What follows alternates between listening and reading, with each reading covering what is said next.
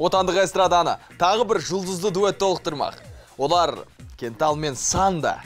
Бүгінде Жал деп аталатын әнді жазып жатқан өнерпаздар отбасылық өмірге де әзірленіп жатыр екен. Бірақ бұл бір шаңырақ астында ғұмыр кешеді деген сөз емес. Бар болғаны, жаңа әннің бейнебаянында ерлі зайыптылардың рөлін сомдайды. Жаль, мы теперь чужие, жаль,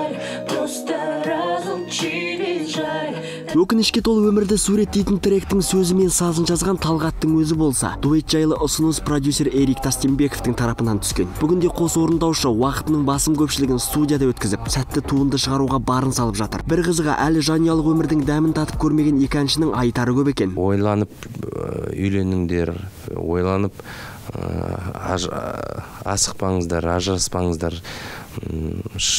Шыдаңыздар. Ал санда үшін жал әнін кенталдай тыңдарманға жеткізу қиындық тудырып жатқанға ұқсайды. Я просто стараюсь мен талғаттай әнді сезіне алмауым мүмкін өйткені ол автор ғой. бірақ мағынасына тереңірек үңіліп актерлық шеберлігімді қосуға тура келіп жатыр. Да да да вот не оттягиваешь. Хочу Не хочу страдать. бұл дуэттің бірлестігі мұнымен шектелмейді. Тіпті көктемде аталмыш әнге бейнебаян таспалауды жоспарлап отыр. Клиптің желісінде жас отбасының тағдырын суреттейтін көрінеді. Клипте санды менің әйелім менің жарым болады жолдасым болады сол ә, Кішкентай қызымыз қызымыз бар иә.